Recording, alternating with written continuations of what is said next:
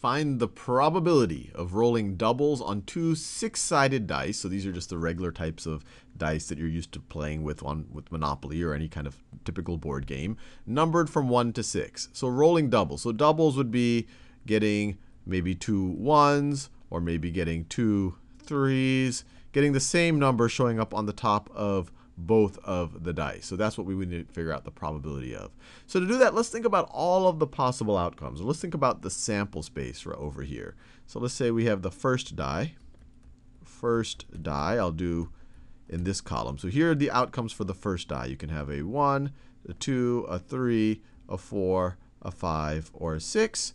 And then let's say for the second die, so second die, I'll do in this right over here. I'll have the columns labeled the roll on the second die. You could get a 1, a 2, a 3, a 4, a 5, or a 6. So for example, I could get a 1, with the first die and a 1 with the second die. And actually that meets our constraints, but we won't go there just yet. So this is one member of our sample space, getting a 1 in the, this first die and a 1 on the second die. And I want to be clear, these are independent events. The second die does not know what happened for the other die and vice versa. They're just going to each roll independently of each other. So these are independent events. They don't affect each other.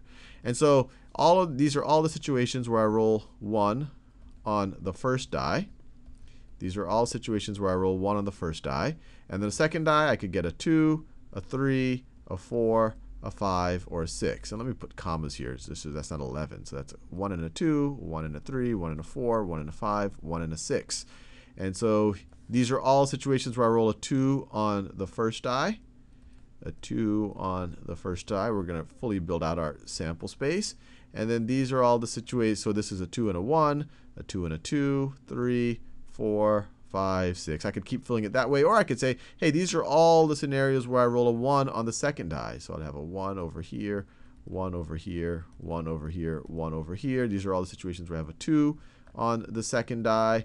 These are all situations where I have a 3 on the second die, a 4 on the second die, a 5 on the second die, and a 6 on the second die. And then here all situations where I have a 3 on the first die. 3, 3, 3, 3, and 3. Almost done. These are situations with a 4 on the first die. 4. So this is rolling a 4 and a 4. This is rolling a 4 and a 5. 4 and a 6. These are 5 on the first die. 5. Almost there. One row left. And these are ro rolling a 6 on the first die. 6 on the first die. So each of these, each of these, I guess you can view them as cells. Let me draw it as an actual grid, as a chart. So let me split it up to make it a little bit neater. Hopefully it makes it a little bit neater. So let me draw some lines here. Then let me draw these to make it, you see it's a grid. So on this chart, each of these cells, each of the little boxes show a possible outcome they show a possible outcome. They are a member of our sample space. They are a member of our sample space. Let me just draw a couple of more lines, and then we're ready to think about this a little bit more.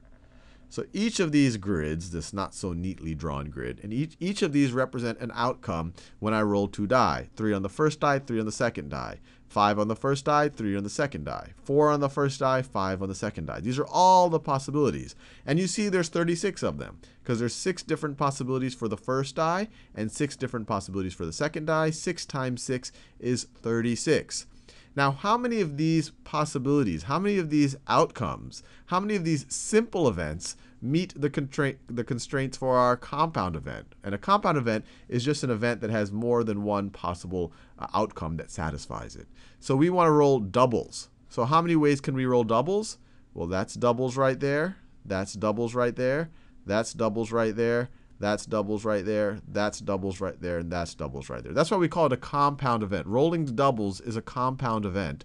Let me write this. This is a compound event. Compound event. Fancy word for just saying there's more than one outcome that meets that that we could say this event has happened. A simple event would be an event that's associated with only one outcome. This event is associated with multiple outcomes. So if you want to figure out the probability of rolling doubles, the probability of, and our event here is rolling doubles, rolling doubles, which is a compound event.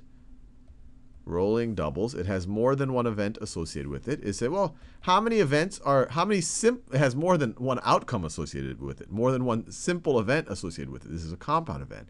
How many of the possible outcomes are associated with this event? So we have one, two, three, four, five, six, six, six outcomes associated associated with this event. With this event. And then how many total possible outcomes are there? Well, we already said there's a total of 36 possible outcomes. 36 possible possible outcomes. The size of the sample space is 36. So the probability of rolling doubles is 6 there's 6 different ways I can roll double out of a possible 36 different ways of actually rolling the die. So it's 636 and we can simplify that because it's just a fraction. 6 over 36, they're both divisible by 6. So you can divide the numerator and the denominator by 6. That's the same thing as 1 over 6. 1 out of 6. So another way of thinking about it, I have a 1 6 chance when I roll two die of coming up with doubles.